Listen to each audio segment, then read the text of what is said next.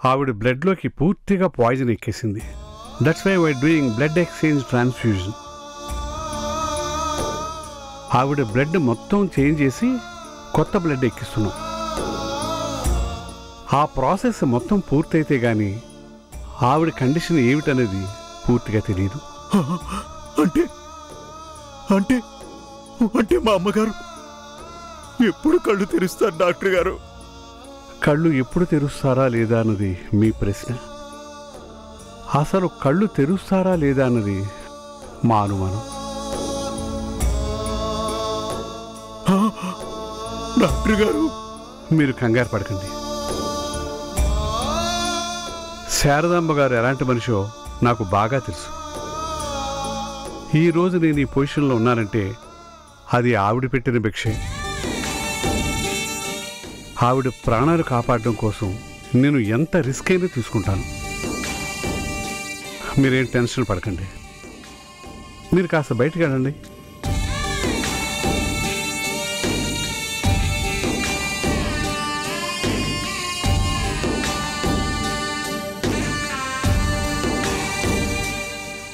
Sister. Show me report. Okay sir.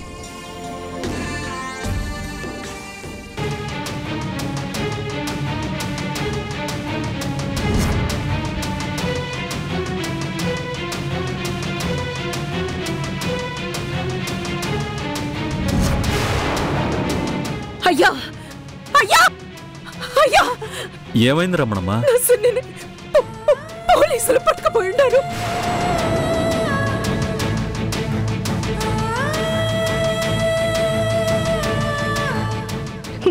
కాపాడయ్యా. నా బిడ్డని పోలీసుల నుంచి ఇడిపించయ్యా. ఊరుకో రమణమ్మ కంగారు పడకు. నేను ఇప్పుడే సిఐ గారికి ఫోన్ చేసి మాట్లాడతాగా. కొంచెం తట్టుకో అమ్మా.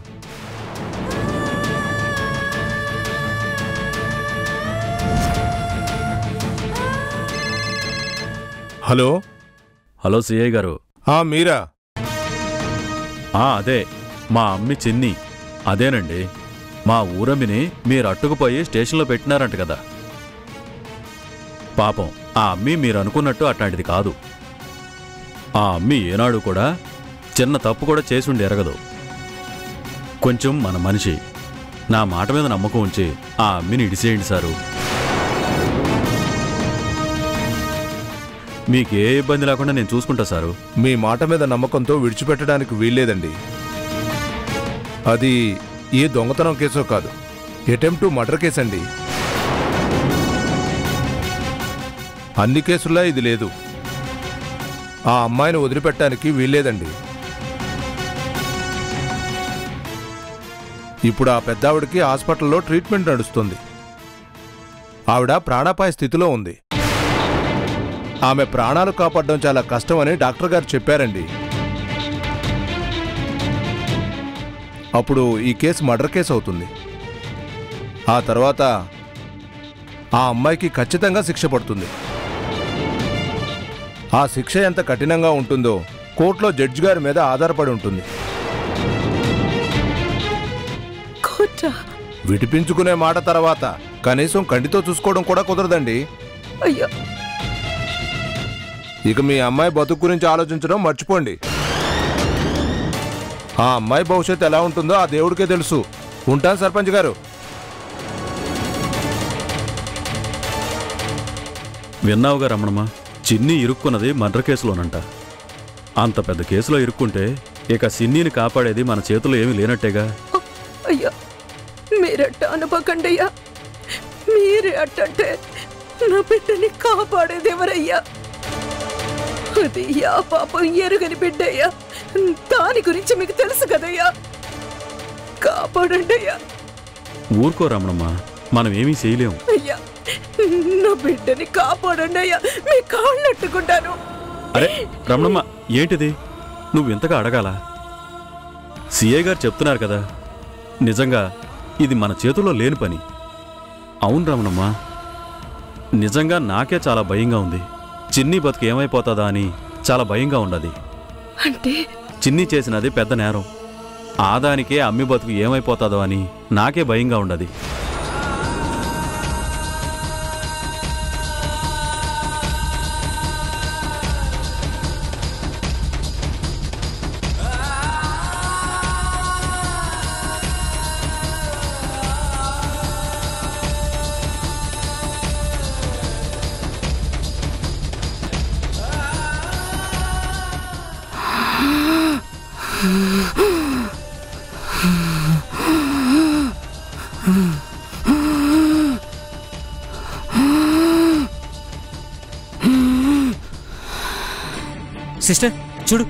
Okay sir. నువ్వు వెళ్ళి డాక్టర్ని పిలుచుకోనరా ఓకే సార్.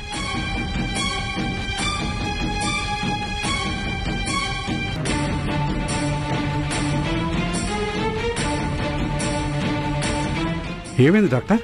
శ్వాస తీసుకోవడం కష్టమైంది సార్. ఓ సార్ సార్ మానిటర్ చెక్ చేయండి. Okay sir.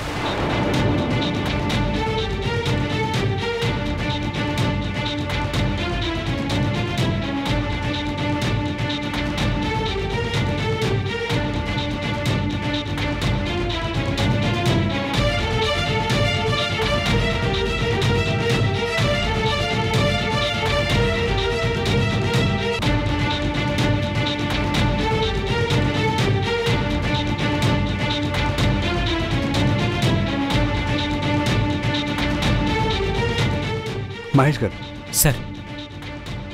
ఆవిడ కండిషన్ చాలా సీరియస్గా ఉంది. మినిట్ టు మినిట్ మానిటర్ చేయాలి. నర్స్ బ్లడ్ అడిగినా రెడీ సార్.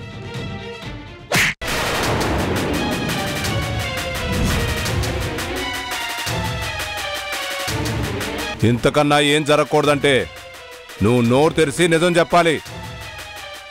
లేదంటే పోలీసుల గురించి నీకేం తెలీదు. ఇప్పుడు మొత్తం తెలిసిపోతుంది. చెప్పు. నిజం చెప్పు. పాయసం ఎందుకు తినిపించావు? ఆ పాయసంలో విషయం ఎందుకు కలిపావు? అసలు ఆమెకు నీకున్న సంబంధం ఏంటి?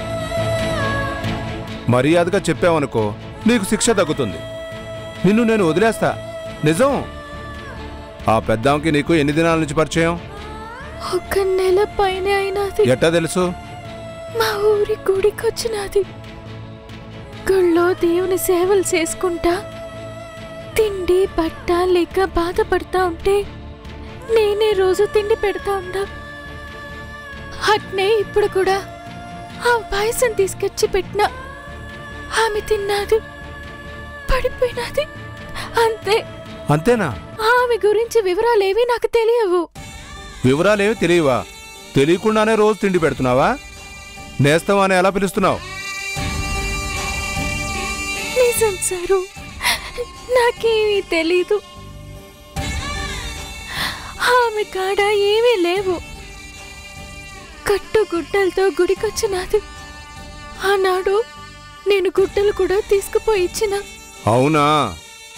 విషయం ఎందుకు పెట్టావు? పాయసం మాత్రమే పెట్టినా సారు. ఇసం పెట్లా నిజం ఒప్పుకునే వరకు నిన్ను విడిచిపెట్టేది లేదో. ఏంటి అలా చూస్తున్నారు?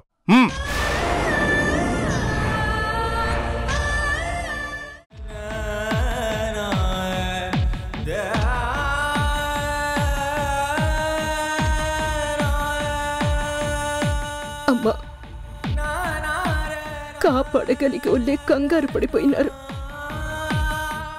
ఇంకా మిగిలిన దిక్కు నువ్వే. నువ్వు కళ్ళు మూసుకుంటే నా బిడ్డ బతుకు పంటరాయి అయిపోతాది. కాపాడమ్మా. దైవానికి కోపం ఉండదు. న్యాయమే ఉంటాదంటారు. తప్పు చేసిన శిక్ష వేయడమే కదా న్యాయం. మరి ఇదేమి న్యాయం తల్లి. నేను సద్దావని ఈసం కలుపుకొని ఎట్టుకుంటే అది తెలియక తినిపించిన నా బిడ్డని శిక్షించడం ఏ న్యాయం తల్లి. అయినా ఇదంతా జరిగినది నీ కళ్ళ ముందే కదా. అయినా నువ్వు యాదానికి ఊరుకుంటావు. నిజమేంటో యాదానికి నువ్వు బయట పెట్టలేదు చెప్పు తల్లే. యాదానికి బయట పెట్టలేదు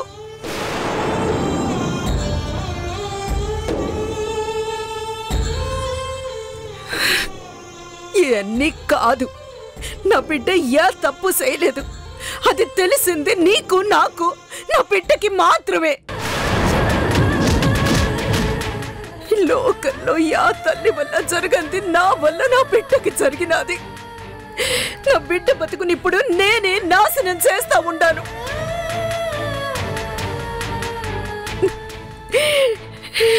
ఇప్పుడు నా బిడ్డ నాకు కాకుండా పోతుంది. తని బతుకు పొగ్గైపోతుంది ఏయ్ చెప్పు. నా తప్పుని దిద్దు. నా బిడ్డకి న్యాయం చేయి. దాన్ని ఇడిపియ్యి అమ్మా నా బిడ్డ నిడిపియాలంటే ఆ పెద్ద మీ బతకాలి. పాపు. ఆడ ఆసుపత్రిలో పడున్న పెద్దవిని తీసుకుపోబాకమ్మా. ఆమెను బతికించు. ఆ పాయసంలో ఇసం కలిపిన పాపానికి నన్ను తీసుకుపో పర్వాలేదు. కానీ ఆమెను మాత్రం బతికించు. బతికించమ్మా. ఆ పెద్ద ఆమెని బతికించు. ఆ పెద్దమ్మ బతికితే తప్ప నా బిడ్డకి బ్రతికే లేదు. అమ్మా ఈ అమ్మ బాధ నీకు మాత్రమే తెలుసు తల్లి. తీర్చు తల్లి. ఈ అమ్మ బాధని తీర్చు. హాయ్ అమ్మని బతికించు. నా బిడ్డని కాపాడు. కాపాడు తల్లి కాపాడు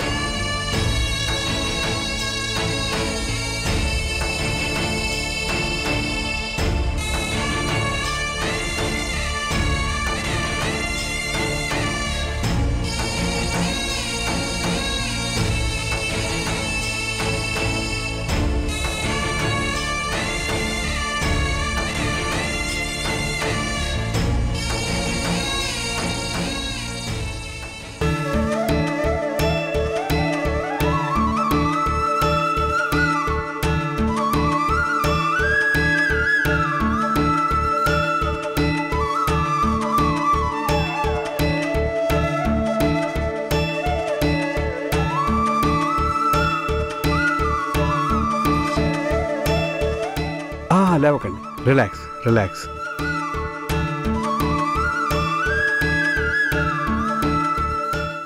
నన్ను గెలిపించడానికి నువ్వు ఓడిపోవు. నా వంశాంకురం నా దగ్గరికి రావాలి నేను. నీ దగ్గరికైనా రావాలి. అమ్మా. శారదమ్మ గారు నన్ను గుర్తుపట్టారా?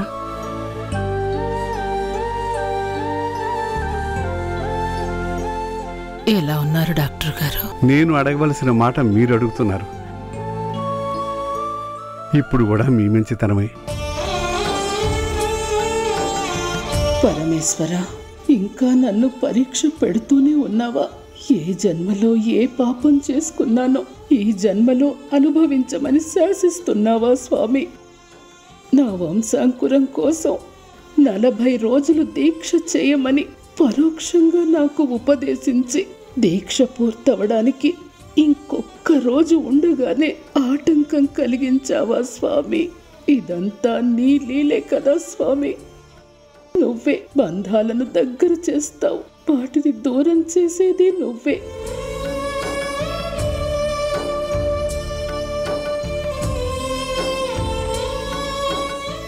అమ్మా మీరేం బాధపడకండి. మీకు విషయం కలిపి పాయసం పెట్టినందుకు ఆ అమ్మాయిని పోలీసులు అరెస్ట్ చేశారమ్మా.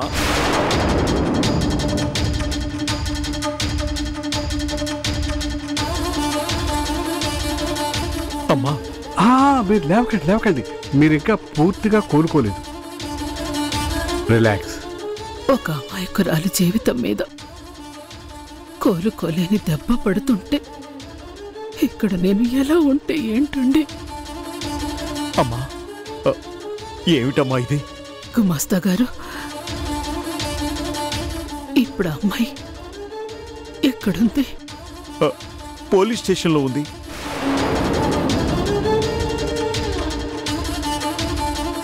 వెంటనే ఆ స్టేషన్కి ఫోన్ చేయండి. తనని వెంటనే విడిపించాలి. విడిపించడం ఏమిటమ్మా మీకు విషయం కలిపిన అమ్మాయిని అసలు వదలకూడదమ్మా. తప్పు గుమాస్తా గారు.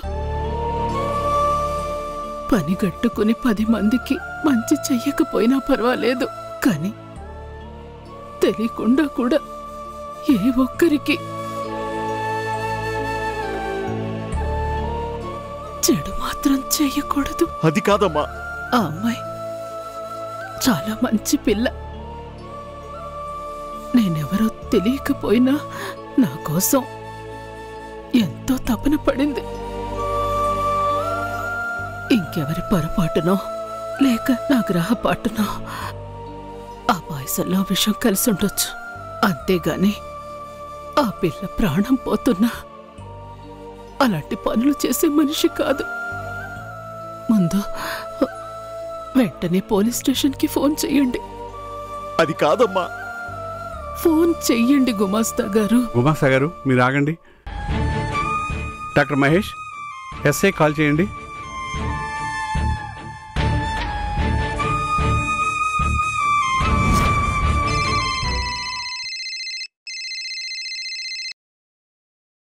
హలో. హలో సిఐ గారు ఒక్క నిమిషం. పాయసం తిని ఎఫెక్ట్ అయిన శారదామ్మ గారు మీతో మాట్లాడతారంట.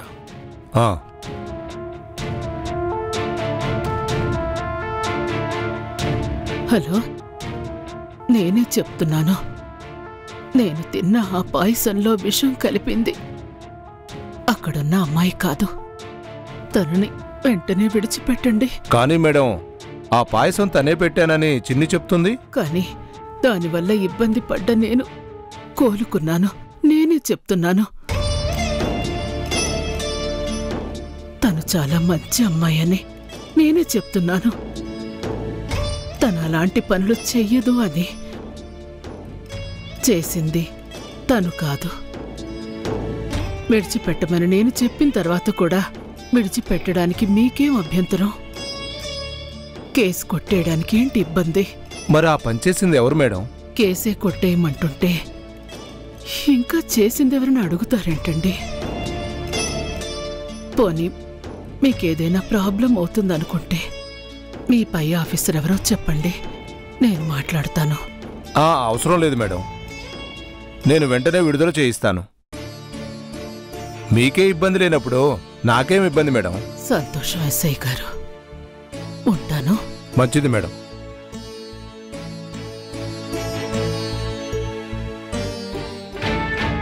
చెప్తావా లేదా? కానిస్టేబుల్ ఆ సెల్లో ఉన్న అమ్మాయిని ఇడ్చేయండి. Okay sir. విషం ఎందుకు కలిపావు? చెప్పు. ఆగండి ఆగండి. ఇన్స్పెక్టర్ గారు ఆవిడని వదిలేమన్నారు వెళ్ళు.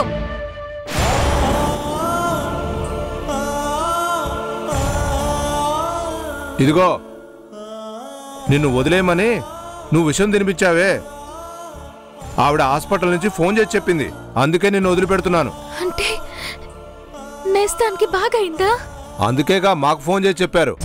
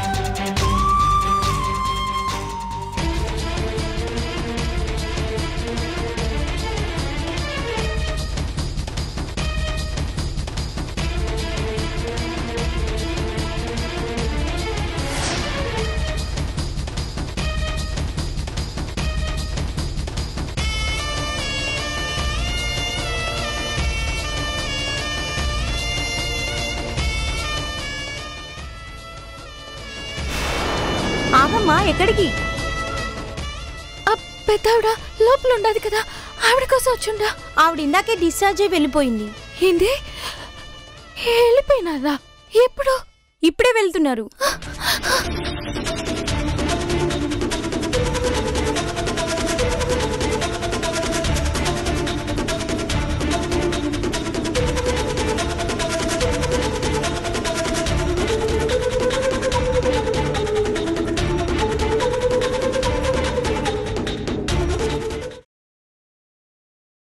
నాకు ప్రాణం పోశారు. ఇంకో ప్రాణాన్ని నిలబెట్టారు. మీ రుణం తీర్చుకోలేను. ఎంత మాట? అది మాకు దక్కిన మహాభాగ్యం అమ్మా.